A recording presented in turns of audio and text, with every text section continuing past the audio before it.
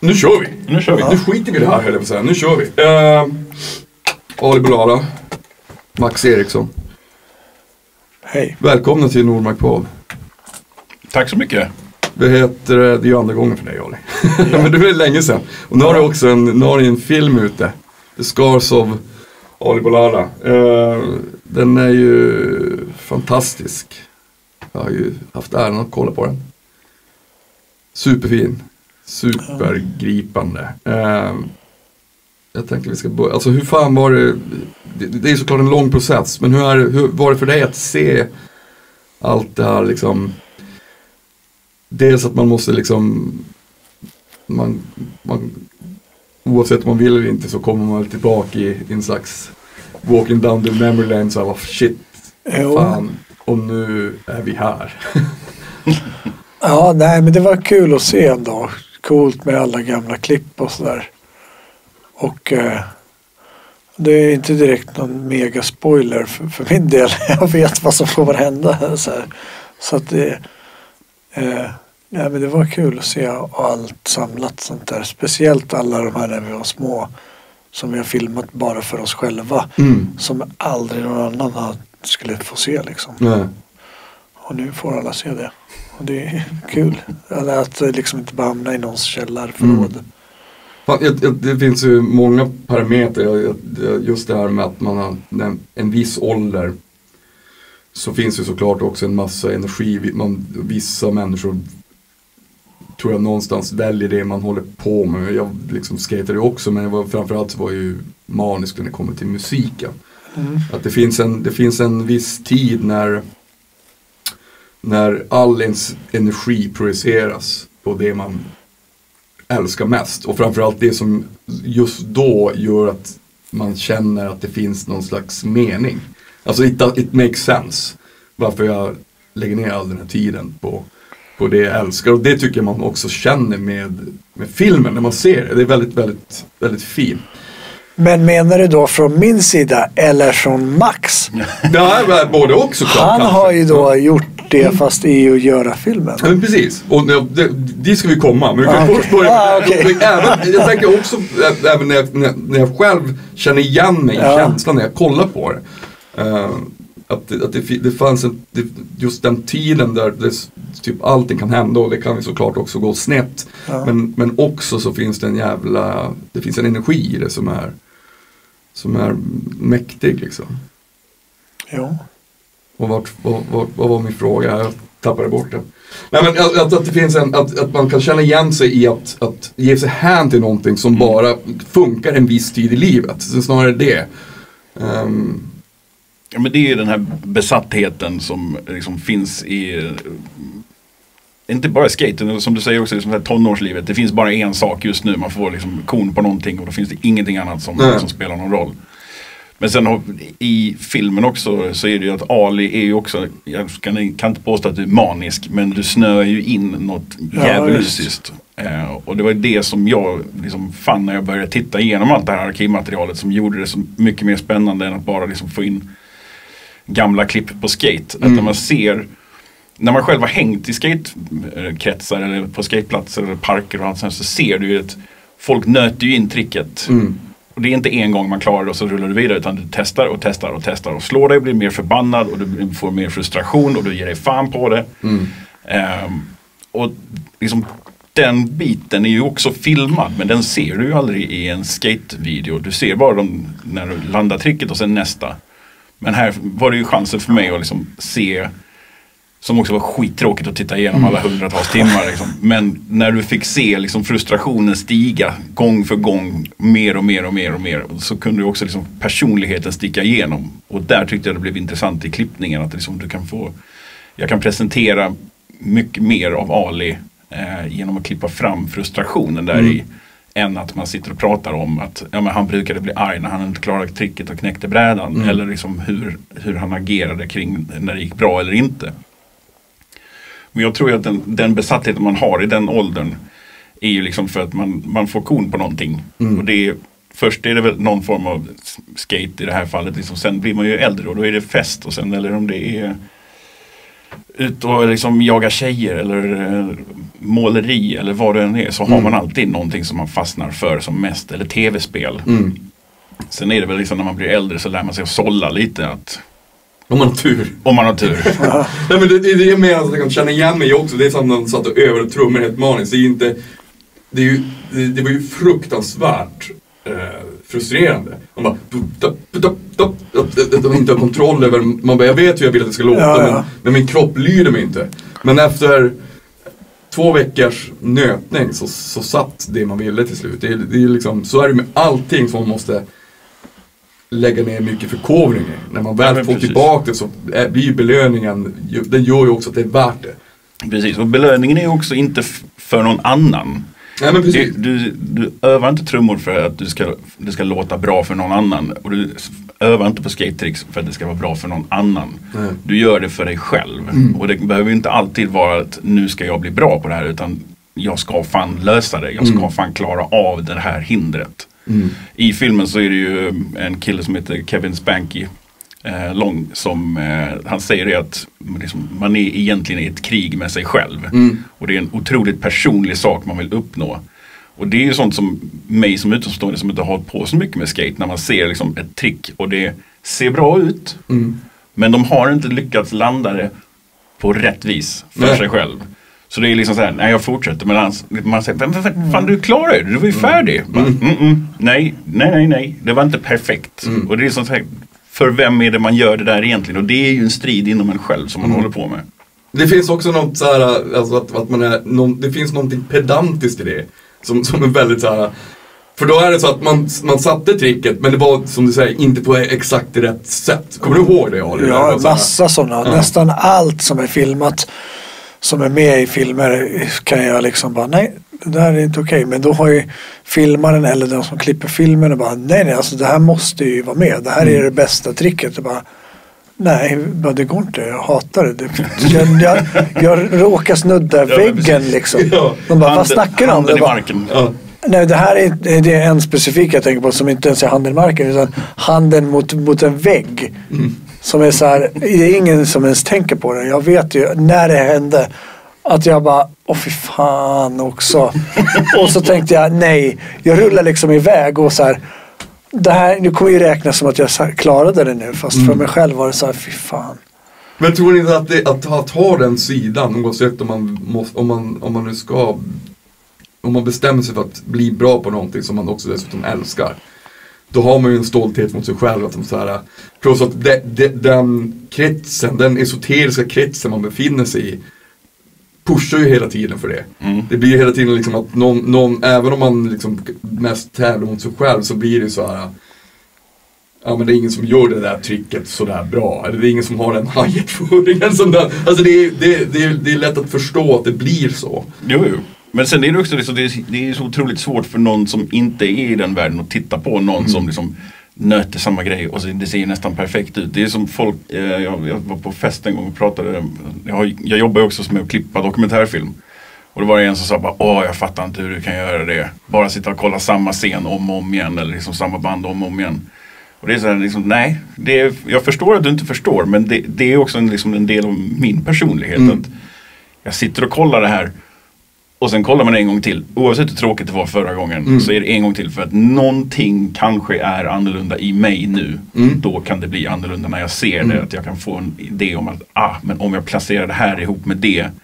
Den här lilla, lilla förändringen i energi i bild. Någonting som Mm. gör att det förändras. Och då måste du sitta och titta om och om och om och om igen. Mm. Sen blir man jävligt mätt på skateboardtrick efter ett tag. Alltså 400 timmar. Fy fan. Ja men den är, den är fantastisk och det är som sagt, det är ju Jag uppmanar alla att se den för den är ju, eh, oavsett om man gillar skate eller inte så är det ju också ett, ett intressant eh, porträtt. Eh, och såklart också tragiskt. Men, eh, men fanns det någon, hur kände du Ali när, när, när sen under resans gång med när ni gjorde filmen så här att kunde det vara smärtsamt eller för smärtsamt ibland? Fanns det några så här, men det här, det här går liksom inte. Nej, alltså för det, jag har ju redan upplevt allt hemska som händer där. Så Jag vet inte. Så, nej. Alltså visst att jag blivit förbannad när vi filmat och bara det här får du absolut inte ha med. Så jag bara radera det här. Eller jag slår sönder kameran. Gå bort liksom. Det här får du ju inte använda fattar du väl. Sen bara, men vadå det där är det bästa vi har filmat. Så bara, Såklart. Men, eh, ja, men bortsett från sådana grejer. Nej men jag visste ju det när vi började redan. Bara, det, här, det kommer bli jobbigt. Det är redan jobbigt. Det kommer inte, jag kommer inte kunna ta bort liksom det som har hänt. Så att bara, ja men visst vi kör, vi gör en film. Och även om det blir hemskt. Men kunde du också känna så Max, att det är såhär bara fan, jag menar, när man gör någonting som måste ta sån tid så delar man ju saker. Såklart. Det, det liksom, man, dels så måste man liksom få ut det bästa av det, för någonstans så är det ju ett verk som man vill att folk ska se. Men också av respekt mot Ali såklart, men, men och också själv. Ja men precis. Men det är, det, vad som är liksom så här, det, det är en tragisk historia. Det, det vet vi liksom. Vem som helst kan kolla upp historien och läsa om det på Wikipedia till och med. Men det jag och Ali kom överens om från första början var ju liksom så att, eller jag frågade Ali, kan du tillåta mig att berätta din historia? Det är, som, det är ju jag som är filtret för Alis historia. Det är ju jag som har valt vilka delar och hur det ska sitta ihop. Eh, men det som, Ali är ju så jävla ärlig med allt och har ju alltid varit det. Så att för oss har det aldrig varit så här att oh, nej men det här ämnet kan vi inte gå in och prata om. Det här kan vi inte prata om. Allting har varit fullt tillåtet från dag ett. Problemet för mig som dokumentärfilmare är ju att när man spenderar så mycket tid med någon så är det ju ämnen jag inte liksom kan ta upp när inte kameran finns med. Nej. Och det blir skitkonstigt och jobbigt för en. För att det finns ju liksom man hör grejer som nämns och så vill man ställa en fråga på det och så vet jag att men kameran är inte här.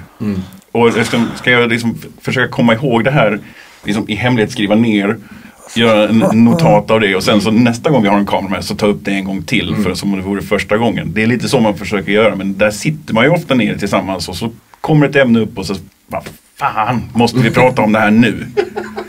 Och det kan jag ju säga är så jävla skönt nu när vi är klara med filmen. För nu finns inte den dokumentärfilmarspärren kvar i mig. Utan nu kan vi ju bullshitta Ja. om allt direkt liksom. Men är det ofta då att du bara fan, det skulle jag ha filmat.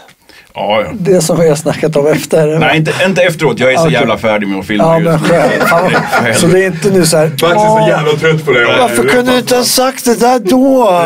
Vad fan, vadå? Nej, nej, nej, nej, inget Ja, sånt. okej. Nej, men det, det enda jag kan känna fortfarande, Ja. det är ju med filmen när jag eh, tittar på den nu, eh, är att jag, eller jag vill inte titta på den just nu. Eh, för att efter klippningen och allting, jag är jättenöjd med filmen. Jag tycker den är superfin, jag är jättestolt över den.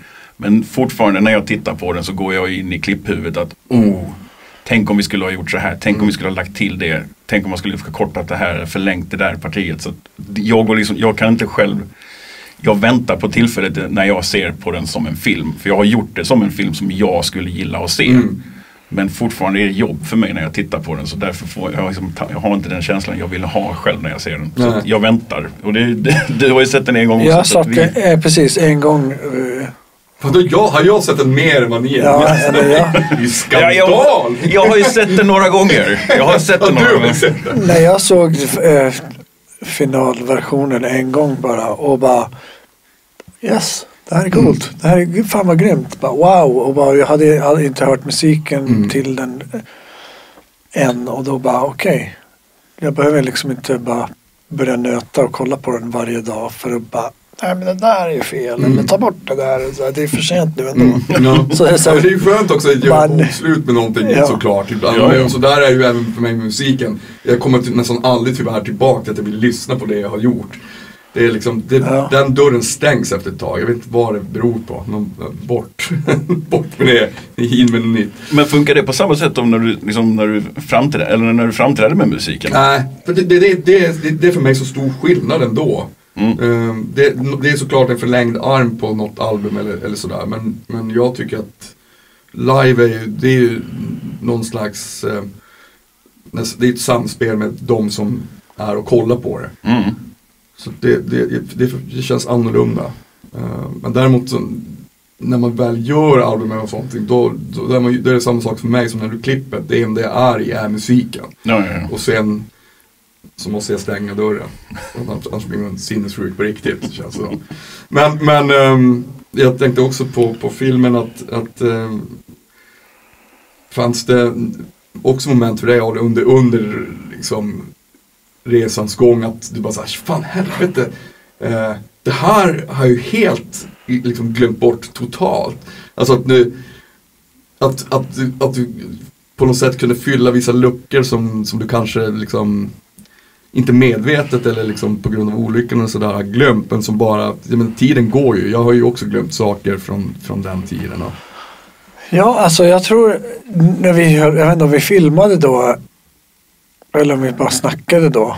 Men eh, när du sa Max att det fanns film på när jag träffade Shane första gången. Mm. Mm, ja, Och det- vi, vi filmar då, det är med i filmen. Ja, okej. För det, eller det visste jag hade tänkt, eller jag hade glömt bort eller jag visste inte att det fanns film på det. Mm. Och det var en grej som bara, jaha, finns det filmat liksom?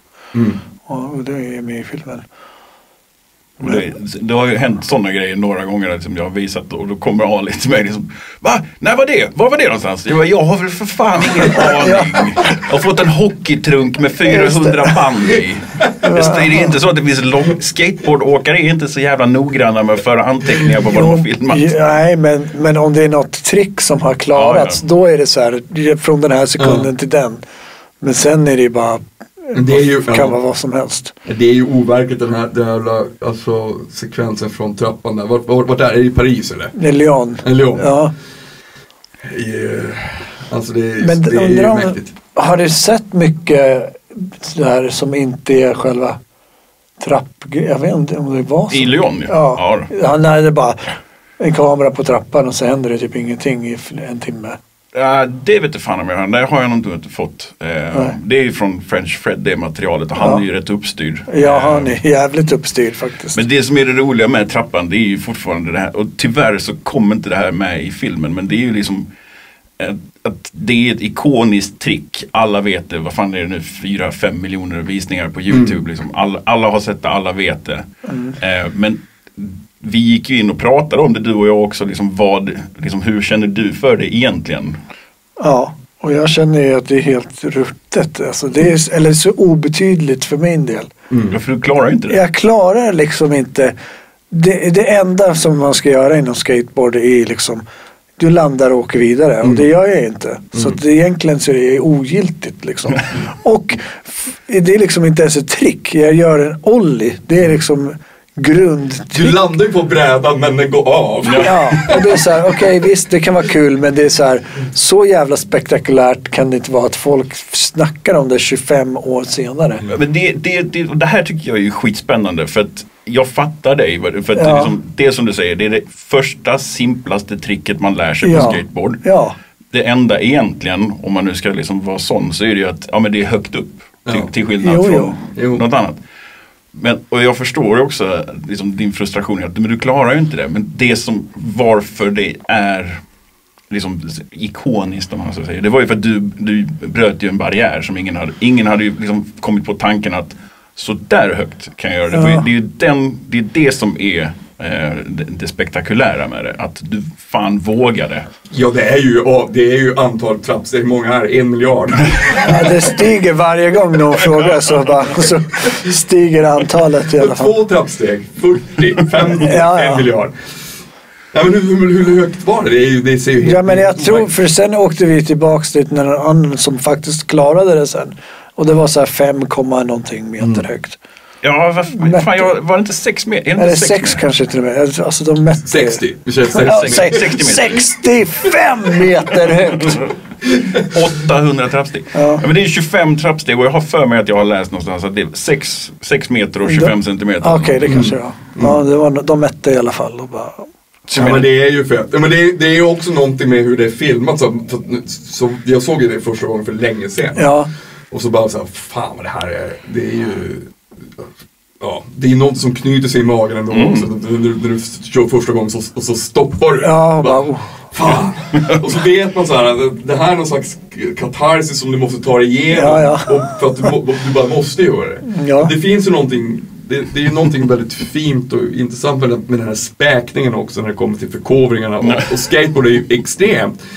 För att eh, man slås ju hela tiden liksom. Ja, ja. Ja. Men jag kan bara säga det också med trappan som jag tycker det är ett sånt så här klipparögonblick som det är. För det, är som, det, det går så fort så det syns inte i filmen.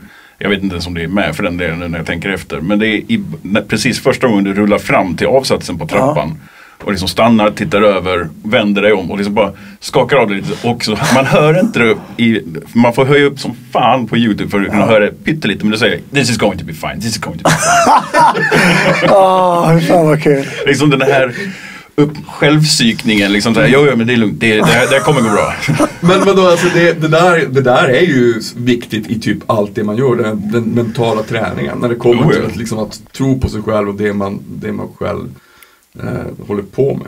Har du, kommer du ihåg hur det var när du var liksom liten då och liksom nötte alla de här tricken? Ja, alltså det var ju samma grej bara helt enkelt. Och det var ju ingen kamera fanns inte då.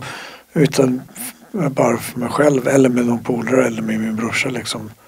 Under liksom ett en lastkaj som var under tak med så här slipad betong. Mm. Och bara nöt, nötte liksom försökte lära oss trick. Mm. Tills morsan kallade in för middag. Ja, bara, aj, ja precis. Riggelygg! När hon kom cy- cyklande så bara hallå det är liksom mörkt nu. Vi ska ä- äta här. Mm. Jag tycker det är så fin sekvens där också där i början när du, när, när, du- när, när du är hos din mamma när du, när, de, när du kollar på de här kopparna som det varit runt. Ja, just det.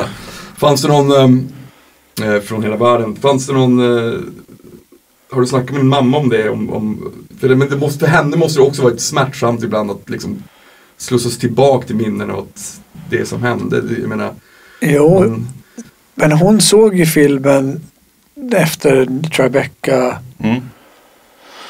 Och var så här helt förvånad. och Bara, wow, det var ju bra. Det var ju som en riktig film, tror jag hon sa. Tack så mycket. Nej men alltså för hon förstod ju inte riktigt att, att, att det är så här film. Nej. Inte skatare som gör en film utan det här är Nej. filmmänniskor som gör en Mm. film med massa skateklipp för det var det som fanns liksom. Så att ja, nej, hon var jävligt imponerad på hur de var gjord liksom.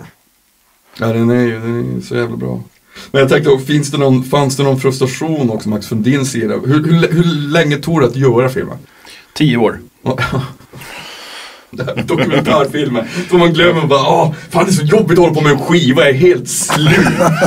Klipp 10 år. Tio år blir 90, ja, 100 minuter. Ja. Ja. men det var, grejen är ju också att under, jag började filma när jag gick i filmskola. Eh, med Ali. Men sen så var det att när Ali blev nykter. Eh, för Ali var inte nykter när vi började filma men blev nykter under tiden som vi filmade. Och därefter så blev det liksom tufft för honom att liksom ha mig hängandes efter med kamera. Och jag liksom märkte att Ali drog sig undan. Så att vi, vi möttes ju upp där och sa liksom, att liksom, vi, får, vi får pausa det här och lägga ner ett tag. Eh, det var inte så att vi liksom, nej nu gör vi aldrig det här utan liksom så att stopp, tack, nu lägger vi ner det här. Så det var ju nästan fem år som vi inte filmade. Men sen var det 2018 så jag pratade med en eh, producent. Och där jag, jag var egentligen ute och letade efter klippjobb. Så jag liksom gick med hatt i hand. Och, eh, så satt vi ner i en soffa och snackade och frågade om ja men liksom, har du ingen bra liksom, story själv att göra film? Så då sa jag, ah, jag har ju liksom den här historien som gick åt helvete som jag inte har filmat på. Så berättade jag hela historien för henne och hon bara, varför, varför gör du inte den här filmen? Så jag bara, nej jag vet inte liksom där. Ja, Jag har inte snackat med Ali på länge. Men ring han då. Inte fan. Okej då. Så ringde jag i alla fall. Det blev så här, okej fan. Jag har ju ändå liksom, varenda natt jag har gått och lagt mig har jag ändå tänkt på den här storyn. Liksom, att fan att inte den filmen blev av. Och så får jag chansen här. Så tänker jag, ah, fan, jag ringer till Ali då. Men så tänkte jag jag vet ju att han har dåligt minne. Så det första jag sa liksom var Tja, det är Max. Det var jag som började göra en dokumentärfilm om dig. Ja, vad fan blev du av? ja, jag har glömt bort det bara. Just det, det var ju det med filmen, vad fan. Och så bara innan det, då bara, ah, fan han, han orkar inte med. Du är liksom och kollar i brevlådan. Hallå Ali, jag ser dina ben! Jag vet att du är där. Jag vet att du är där. Nej, men Ah, så, shit, ja. så vi- då sa jag till, det var, det var skitroligt det sa- telefonsamtalet för där förstod jag att Ali hade utvecklats jättemycket från senast vi sågs. För det, Mm. Bland annat var det en sak och det var att jag sa liksom, ja men liksom, skulle du vilja ses så ska vi snacka om att ta upp det här igen. Eh, ja men det kan vi göra. Ja men vi, ska vi ses där och där och liksom eh, den och den tidpunkten. Ja vänta lite. Så okej. vad fan gör du? Jag skriver ner det. Så jag bara, åh fan. Okej, då har vi, vi har kommit en bra bit på vägen här. Fan vad grymt. När kom, när kom tvåan? Kom... Ja, det är ju det. Tvåan är ju när jag gör en film om Max. När han gör film. Men det- Fy det- fan vad tråkigt. Ja, men du ska, du ska ju olla ner för, du vet, Ja, gör en ollie ner för den där. Du ska olla trappan. ja men shit. Ja men den är, den är fet. Men hur mycket, hur många, hur har det gått med, eh, för nu har den, den visats på Göteborg Filmfestival och hur, hur har den, hur har den mottagits internationellt? Ja, Den har blivit jättefint mottagen. Eh, vi har liksom fått jättemycket fina recensioner och liksom folk som har slagits för att eh, få se filmen. Och både till mig och till Ali som hör av sig liksom på sociala medier och liksom säger liksom Åh, snälla kan ni inte komma hit och visa den här och visa den här. Vi vill verkligen se den. Men eh, på det stora hela har vi fått superfin eh, mottagande. Självklart så är det alltid någon som inte gillar den. Men Ja, en. Det finns ju en. Vem, som vem, vem ska vi söka upp? Nej men alltså den är ju rolig. Jag var ju på en annan podd i morse och snackade. Och de, så hittade jag den där. Och de, ja, de, bara blev så, de såg ju sönder honom. Och sen bara gled vi in på Malou. Så blev det typ en kvart av Malou, snacka skit om Malou. i en kvart. Ja, de var inte så imponerade av henne heller. Men den här människan som skrev, som skrev sågade filmen som Ja. egentligen inte beskriver filmen alls utan han bara blev, var missnöjd och någonting med att det var pity party och han var arg liksom. Man, man bara okej du säger Och inget fram, om framförallt det han skriver är liksom så här att det här är inte den sämsta filmen jag har sett under Tribeca. Men det är den filmen som har gjort mig argast för att den kastade bort min tid. Ja just det. Och det är, det är en rätt kraftig burn. Men Men också person-. Ja, ja. Nej men du ska, det är, jag tänkte inte på det här förrän någon annan läste den och bara, men det här är ju person på angrepp för fan. alltså på mig, alltså att jag inte var så karismatisk som, som, eh, som mina vänner, äh, fan, jag vet inte vad, men någonting som var så här, ja ah, men vänta nu. Det här är ju personangrepp för fan. Och han det var ju garanterat någon som han är aldrig träffat. liksom the han är inte alls karismatisk. Man bara, nej det är ingen som har sagt det heller. Ah, Den var shit. rolig. Men ja, du ska se hur han ser ut. Då kommer det bara, ah, Men vad- jag tänker på vad heter det, ehm, har, har ni känt något så här, att man håller på med någonting under så lång tid och sen från, vad sa du, 2018 och nu fram till nu så har det Ja, så har vi här, jobbat heltid med det. ja, Det är ju, det är också länge. det gjorde länge. ja, Men har ni känt så här efteråt bara, fan nu är vi klara. Eh, känns, det, känns det kul det här? Eller, för det är lätt att man hamnar i någon slags postdepression när man har lagt ner så otroligt mycket tid. Det är liksom tio år av ens liv någonstans som har Ja men någonstans är det ju skit. Alltså det är ju så här också att det, det är ju inte en dag så nu är det klart. Nej. Utan nu, nu är det ju turnéer med filmen och det har varit filmfestivaler och det har varit Q&As och det har varit presentationer av den och allt möjligt. Så att liksom arbetet fortsätter och vi kommer ju fortsätta nu under våren och den, liksom tills den 25 april, nej 25 mars när den börjar på bio. Så kommer det säkert vara grejer efteråt också men man är liksom inte man är liksom aldrig riktigt klar med det men samtidigt det är ju jävligt tomt liksom, när man har haft någonting som man har lagt så mycket tid och tankeverksamhet på att nu är det klart. Och det är väl lite därför också jag har svårt att se den själv nu för att det är liksom då går de tankarna igång igen. Oh, jag skulle vilja ha gjort så här eller så här eller så här. Tänk om man kunde. Och det är som det är, nej jag får vänta lite till med det. Men det, det är ett jävla tomt hål igen efter man är färdig med en film. Det måste vara samma sak med en skiva eller vad som helst. Liksom Ja men så är det, men det är som vi snackade om innan och som, som för Ali, att det, man måste hela tiden fylla det här det här, bru, det här monsterbruset som hela tiden har, som ställer sådana krav på en samtidigt som man är helt besatt av det. Uh, det är lite jag vill komma till när vi, när vi pratade om i början, så att det, vid en viss ålder så är det också lätt att man också kanske hamnar snett, man blir ju som sagt besatt av allt. Och jag menar den åldern ni var i, det var ungefär som när jag började turnera, att man helt Ja. plötsligt bara Ja, nu är vi i USA i sex veckor. Man är 19-20 bast liksom. Eh, Det är ju svårt att det inte går snett, tänker jag. Ja. Om man är av en viss personlighet. Samt, framförallt när det är det man gör. Man säger nu ska du göra det här. Du ska stå och spela, du ska spela trummor en timme per dag. ja. Eh, Och sen får du väl göra, dricka bärs Ja. resten. Great! Ja. Alltså det är liksom, det, det, det, är, det är inte konstigt att det, att det kan gå käpprätt åt helvete liksom. Nej, precis. Och det har ju inte varit någon som har bara nu får du lugna dig lite här. Nej. Utan det är bara så här, nej, gör vad fan du vill. Mm, precis. Frågan är ju om man ens hade brytt sig om någon hade sagt nu får du Nej, dig. absolut Då hade inte. du bara, Ja, ja. Ja. Nej men det är ju också, jag menar, det är också en sån sak som liksom, eh, lockade mig med filmen. Liksom just den känslan av frihet som Mm. fanns liksom, i Alis liv. Eller för den delen i, i liksom, musikvärlden också. Liksom, det, är, menar, det här, det här rockstjärnelivet. Som man, liksom, det finns ju den, den här romantiken kring det som man vill åt. Liksom, att, men du är bra på det du gör. Ös på och gör det hela tiden. Och resten av tiden kan du ha skitroligt. Mm. Varsågod. Och jag menar det är också under den här tiden som det utvecklas allt det här liksom med skits och eh, hela den biten liksom. Mm. Pranks och bara hålla på och jävlas med varandra. Eh, och för mig så tyckte jag att det var intressant också för att liksom, jag är uppvuxen med MTV och Jackass. Mm. Och det var ju skitroligt då men när man liksom sen försätter sig in i skateboardvärlden så ser man ju var det, det kommer ifrån. Mm.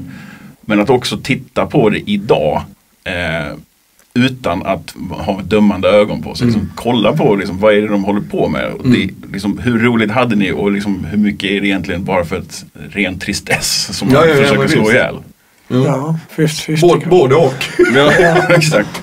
Svinkul också. Det är skitkul att kasta smällare på för- föraren, chauffören längs med. Ja, Ja, men den, är, den är underbar. Hörni, vet, du, 25 mars, är, då är det biopremiär. Yes. Då uppmanar jag alla att gå och se den för den är helt grym. Jag är stolt över och eh, jätteglad att du ville vara min gäst. Ja. Som, som vi sa tidigare, om man håller på med något tillräckligt länge så kommer det ju bli bra. Så är det. Tio år. Tio år. Ja, Ja, tio år, tio plus. så, så det blir... Tack för att du ville vara min gäst. Tack för att du fick komma.